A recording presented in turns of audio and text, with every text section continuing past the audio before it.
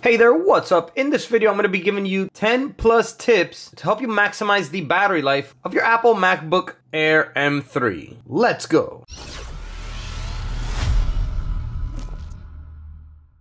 Hey there everyone, welcome back to the video. My name's Sergio and in this channel I make life-saving tech videos. So if you're new here, go ahead and subscribe and hit the bell if you want to get notified when I upload new videos. So with that being said, let's get right to it. So I'm going to be giving you 10 plus tips to help you maximize the short-term and long-term battery life of your Apple MacBook Air M3. Now, you don't necessarily have to use all of these tips to get the most out of your battery, but I would suggest using at least some of them to help your battery last you its longest. All right, so let's jump right in. So tip number one is that when you first receive your Apple MacBook Air, if you get it brand new, it's good to always charge it on its first charge always to 100%. This allows the battery to be expanded to its maximum capacity so that you can continue using it on from there. Tip number two is to enable dark mode. So when you're first setting up your MacBook, you can set it up through the settings in the initial setup. If not, we can click on the little apple over here, go to system settings. Here we're gonna scroll down to appearance and then in appearance, here we have multiple modes. We have either light mode, dark mode, or auto mode. Auto mode will switch on and off between light and dark mode, depending on how much brightness the MacBook senses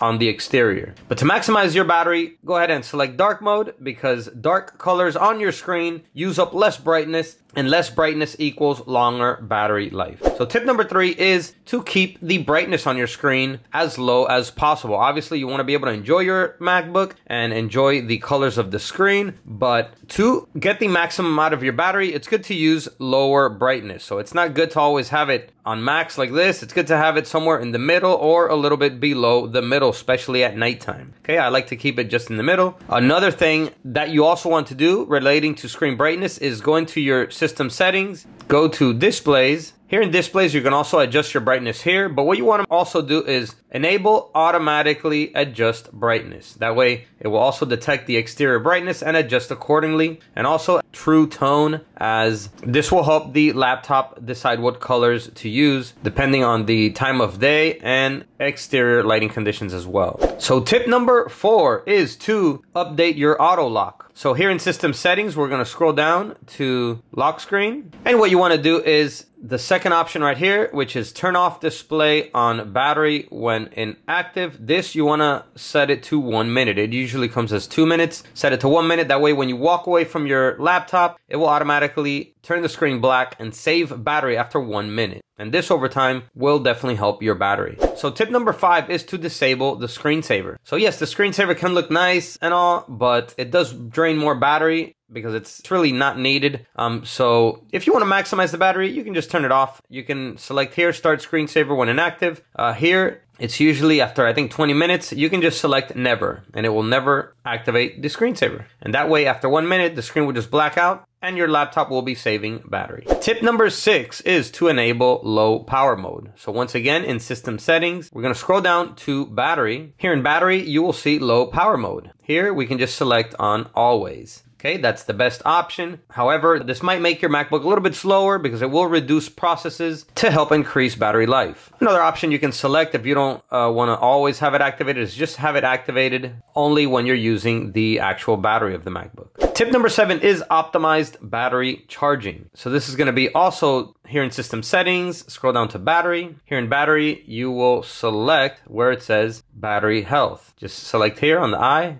and here, make sure that optimized battery charging is enabled. What this will do is that it will limit your battery charging to 80%, and this has shown over time to, you know, give your battery a longer lifespan and prevents overcharging. Moving on to tip number eight, and tip number eight is a storage tip. And tip number eight is to use your laptop only in good temperatures. So you shouldn't be taking your laptop outside if it's extremely cold or if it's extremely hot. This over time will also damage your battery and cause automatic shutdowns, which the MacBook will do in order to protect itself. Okay, but these extreme temperatures will damage uh, your battery. So keep your MacBook between 32 to 95 degrees Fahrenheit, which is also 0 to 35 degrees in Celsius. Number nine is a storage tip. If you're ever gonna store your MacBook away for an extended period of time, maybe a few days, a couple weeks, maybe even months, it's good to store it with at least 50 to 70% battery life. It's not good to just let it drain all the way to zero and store it that way because if you leave your MacBook at zero for extended periods of time,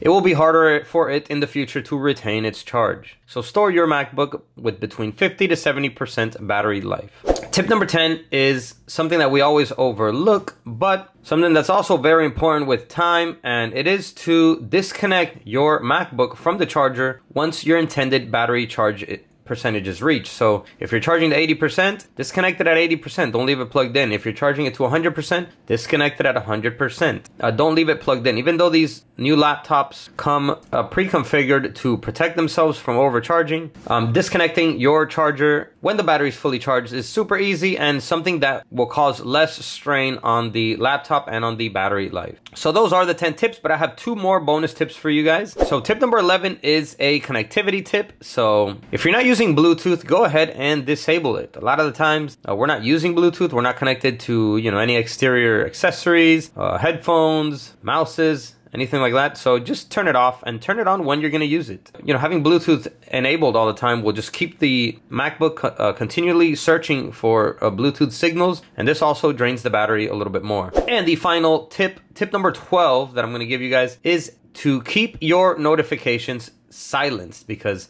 having notifications running all the time nonstop will also drain your battery since the processor is continually uh, getting information from all these applications. And this over time will also drain your battery faster in the short term and in the long term as well. So over here in system settings, you can select notifications here and you can either disable notifications altogether by selecting never or at least only allow notifications when your screen is unlocked. Okay, because if you leave it to always, even if your screen is locked and blacked out, the laptop is always going to be receiving notifications, uh, and that's going to drain your battery much more. Okay, so I'm going to leave it to at least to when unlocked to preserve my battery. All right, everyone. So those are 10 plus tips to help you maximize the battery life of your MacBook Air M3. Go ahead and destroy that like button if this video helped you out. Comment down below and let me know. That's all for this one. Catch you in the next one. And as always, peace.